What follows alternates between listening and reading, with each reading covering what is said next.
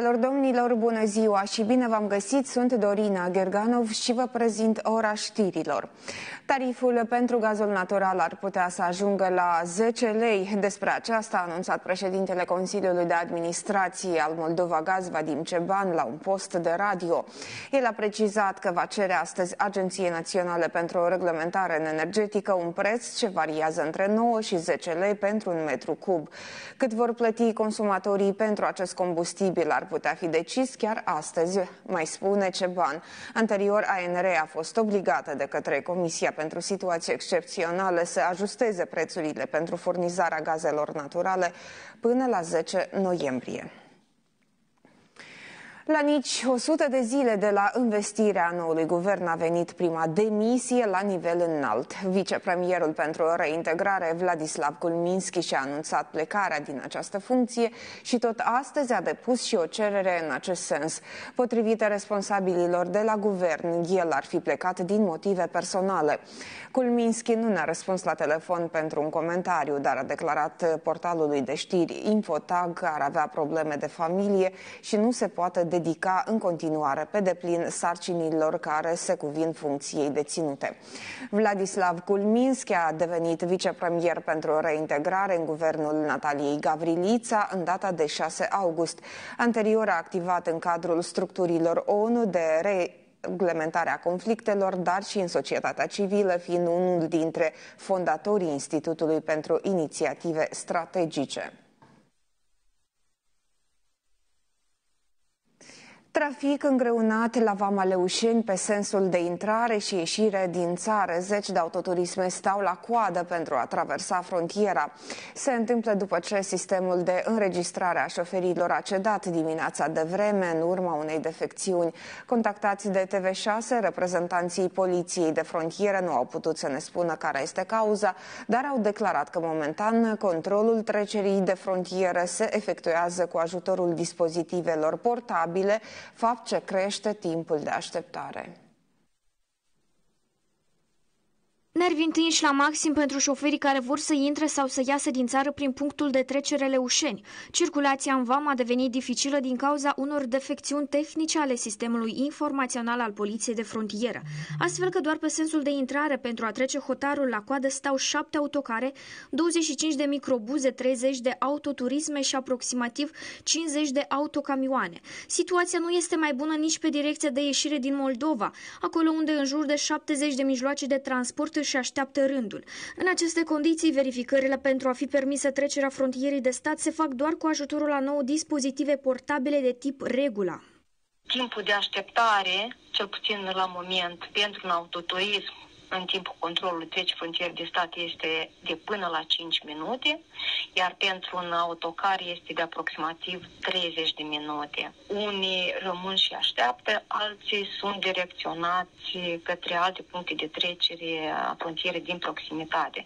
Și aici vorbim de punctul de trecere Scoleni sau uh, Cahul. Responsabilii de la Poliția de Frontieră nu au putut să spună cu exactitate din ce motiv sistemul informațional de la Vama Leușeni a picat, dar ne-au declarat că o echipă de tehnicieni lucrează pentru a identifica și înlătura deficiențele.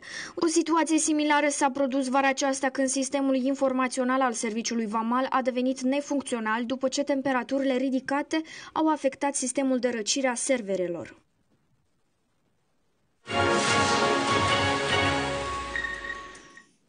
Dosarul asistentei din Moldova, suspectată de omorul unei bătrâne de 97 de ani de care avea grijă în Israel, a fost transmis în judecată, iar în timpul apropiat Ioana Muhina își va afla sentința. Ea a recunoscut în fața judecătorilor că este implicată în acest caz, nu și că ar fi autoarea crimei. Un purtător de cuvânt al poliției israeliene a declarat că suspecta și-a recunoscut parțial vina și anume că este implicată în comiterea omorului, nu și că l-ar fi comis. Acum două săptămâni, judecătoria din Hadera, Israel, a prelungit cu șapte zile arestul Ioanei Muhina, în vârstă de 30 de ani, originară din Republica Moldova. Femeia este suspectată de uciderea unei bătrâne în vârstă de 97 de ani, la care lucra în calitate de îngrijitoare. Ancheta a stabilit că moldoveanca Bianca se află în Israel de 2 ani și este angajată legal. În tot acest timp, ea a muncit în calitate de asistentă medicală, iar la femeia decedată s-a angajat din august 2021. Potrivit poliției, suspecta locuia într-o anexă a casei bătrânei. Avocata Ioanei Muhina a tras atenție la discrepanța dintre mărturiile suspectei și realitate și a acuzat ancheta de încălcare a drepturilor procesuale ale clientei sale. Totodată, apărătoarea a cerut examinarea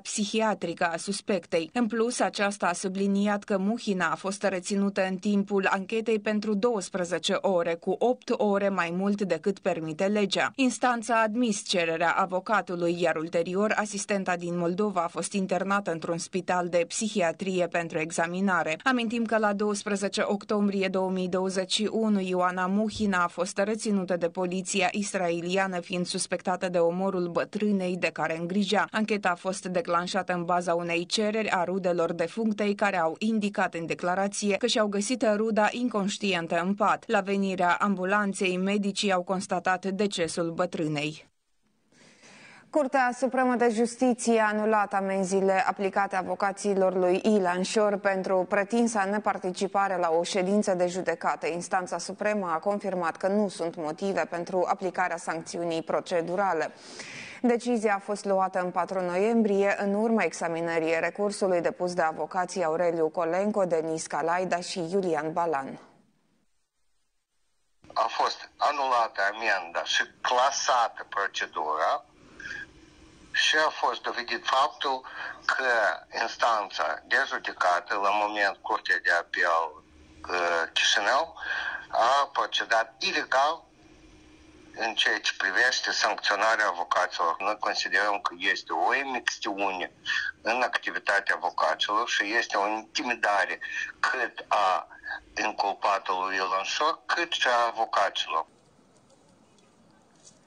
Amintim că ședința de judecată în dosarul lui Ilan Șor, programată pentru marți 19 octombrie, a fost amânată din cauza neprezentării la aceasta a niciunuia dintre cei trei avocați ai liderului partidului Șor.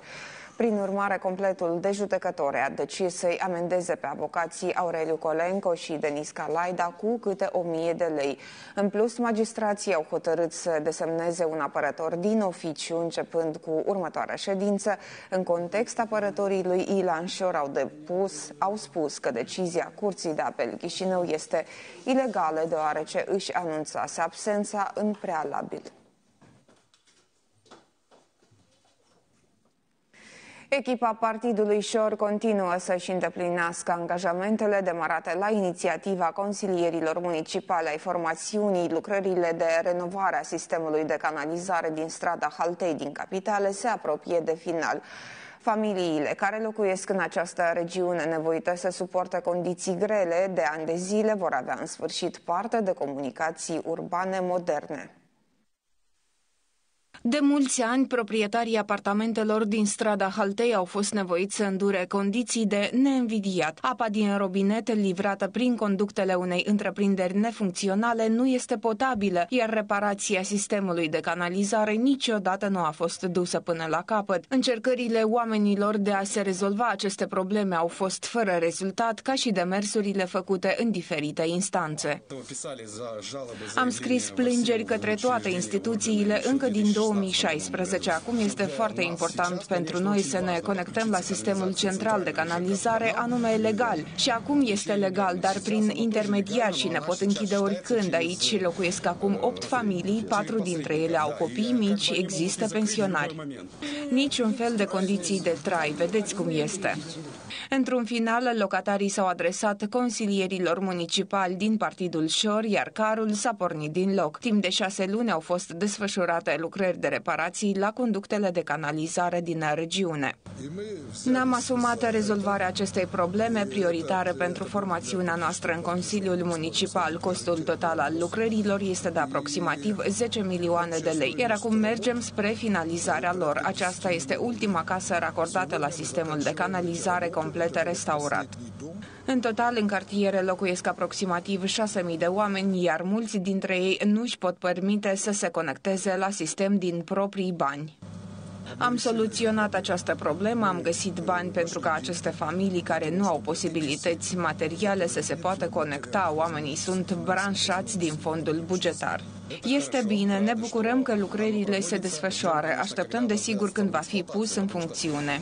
Racordarea apartamentelor la rețeaua de canalizare din strada Haldei urmează să se încheie la sfârșitul acestei săptămâni. În primăvara anului viitor, potrivit lui Valerii Climenco, vor începe lucrările de înlocuire completă a sistemului de alimentare cu apă și conectarea lui la cel al orașului.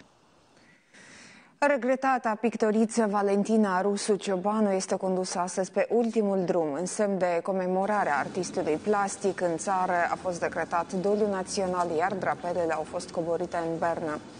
De dimineață, la Biserica Sfânta Teodora de la Sihla a avut loc un serviciu divin, după care cortegiul funerar s-a deplasat la monumentul domnitorului Ștefan cel Mare și Sfânt, acolo unde a fost depus sicriul cu corpul neînsuflețit al artistei.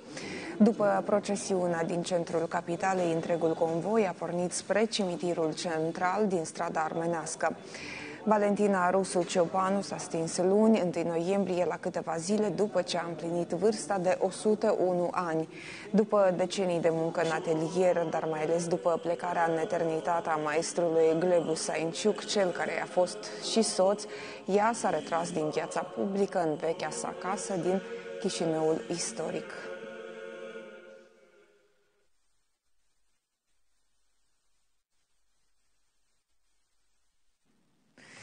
O clipă de neatenție era cât pe ce să-i fie fatală unei copile de 14 ani din Călăraș și a luat foc după ce s-a stropit din greșeală cu benzină pe care a vrut să o folosească la aprinsul lemnelor. Din fericire, mama i-a auzit țipetele și a reușit să stingă hainele incendiate. Acum fata se află la spital, iar starea sa de sănătate este de gravitate medie. Potrivit poliției, cazul a avut loc miercuri. Fata a utilizat benzina după ce mama i-ar fi cerut să facă focul în sobă. Pentru că nu putea aprinde lemnele, ea a luat în brațe un vas din plastic cu lichidul inflamabil, din care a început să toarne peste vreascurile mocninde. Atunci au luat foc și hainele ei pe care ajunsese benzina. Mama a sărit să stingă flăcările după ce i-a auzit țipetele disperate. În urma celor întâmplate, copila a fost internată la spital cu arsuri pe 40% din suprafața corpului. Afectat i-a fost fost toracele, abdomenul și picioarele. Urmare la țipitele de ajutor a minorii, a intervenit mama, acestea care i-a acordat ajutor medical primar, dezbăcând-o de haine și solicitând ajutor medical. Conducerea Spitalului Raional Călăraș nu ne-a răspuns la telefon pentru a ne da mai multe detalii despre starea minorei. Potrivit poliției, însă, fata este conștientă, iar starea ei este de gravitate medie și se află internată în secția chirurgie. Oamenii legii au deschis în acest caz o anchetă. Zilele suplimentare de vacanță forțată de numărul mare de infectări cu noul coronavirus vor fi recuperate până la sfârșitul acestui an de studii, anunță Ministerul Educației. Școlile vor trebui să își întocmească propriul orar de recuperare potrivit unui ordin oficial. Acestea pot alege între a studia în zilele de sâmbătă sau a mări numărul de lecții până la 7 sau chiar 8 ore pe zi, ceea ce ar însemna să iasă din școli aproape de ora 16. O altă opțiune ar fi ca studiile să înceapă mai devreme de 8 sau 8.30 dimineața. Inițial, autoritățile propuneau recuperarea vacanței prelungite până la sfârșitul semestrului, dar după o discuție a ministrului Anatolie Topală cu directorii instituțiilor de învățământ, s-a decis că acest lucru să se facă până la sfârșitul anului. Amintim că perioada de odihnă a fost extinsă cu șapte zile pentru elevii din învățământul primar, gimnazial și liceal din localitățile aflate în pragă roșu de alertă, inclusiv în Chișinău și Bălți.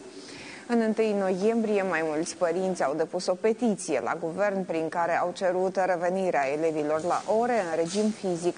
Aceștia însă nu au fost ascultați.